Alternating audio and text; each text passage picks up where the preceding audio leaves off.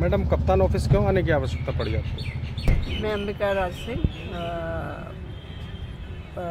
अभिमन्यु राज सिंह की मदर जो अभी निर्वाचित हुए हैं नगर पंचायत घबाना के अध्यक्ष है ना एंड उनके खिलाफ जो है एक फर्जी मुकदमा कल किया गया है। उस सिलसिले में हम एस एस पी साहब से निष्पक्ष जाँच के लिए वो करने आए हैं। तो क्या मामला क्या हुआ था मैडम? क्या एकदम चुनाव के बाद क्या ऐसा हुआ जो पुलिस कोर्ट कचहरी की बात होने लगी?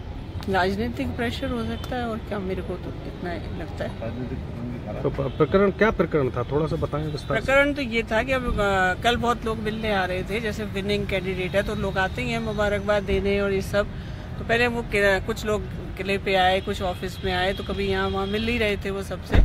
सबसे अब वो स्वीकार कर रहे थे लेकिन हमारे जो ड्राइवर हैं वो उनको कुछ औरतें मिली। तो उन्हें सोचा ये भी मुबारकबाद देने आई है। तो उन्होंने बोला कुंवर साहब ऑफ़िस में बैठे हैं आप चलिए वहाँ। तो वही ले गया है वहाँ। वहाँ उन्होंने अपनी वो रखी समस्या कि ना साहब हम मुबारकबाद देने का हमें तो पीट रहे हैं गाँव में और वैसे वैसे जो भी थे।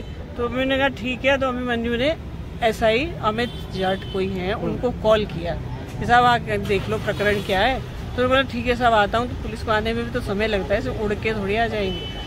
तो उन्होंने कहा ठीक है मैं आ रहा हूँ। तो कॉल उनको पाँच वो कॉल डिटेल्स है अभिमन्यु की। मतलब कि वहाँ जहाँ जहाँ वो पहुँचे हैं उसकी कॉल डिटेल्स है। पाँच बजे पाँच दस पे पाँच पंद्रह पे पुलिस फिर उन्होंने दोबारा किया उन्होंने कहा सर मैं आ गया। उन्होंने बोला तो वो पुलिस की गाड़ी आई है ऑफ़िस पे। तो वो पुरुष हाँ पुरुष है। तो क्या लग रहा एफ़ है आई आर में लिखा हुआ है। जी जी। निष्पक्ष जाँच के लिए कप्तान साहब ने क्या आश्वासन दिया? कहते आप निश्चिंत जाइए, निष्पक्ष जाँच होगी। भैया, मेरा नाम उमेश कुमार सिंह है। मेरा भतीजा गवाना नगर पंचायत से अभी जीता है चुनाव।